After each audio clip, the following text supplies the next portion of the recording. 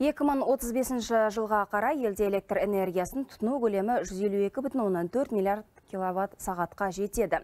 Келешекте тапшылық сезіледі. Сол себепті алдағы 10 жылда жалпы қуаты 26,5 гигаватт болатын жаңа генерациялаушы қуаттарды іске қосуды қамтамасыз ету қажет. Энергетика министрі көкшетаулық студенттермен бейбіт атом энергетикасын дамытудың келешегі мәселесін талқылау барысында осылай деді.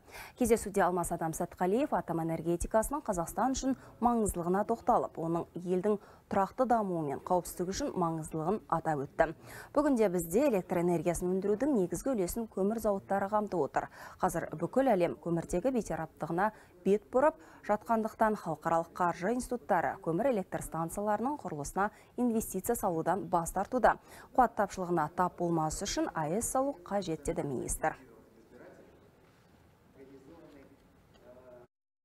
После инцидентов Фукусима Чернобыльда болған апаттардан кейін барлық ғылыми зерттеулер ядролық нысандарда қауіпсіздікті қамтамасыз етуге бағытталған. Яғни станцияларда барлық талаптар күшейтілді. Олар штаттан тыс жағдайды болдырмауды көздейді. Мәселен, нысанда электр энергиясы өшіп қалса, онда басқарылмайтын ядролық реакциялар жасау мүмкін болмайды.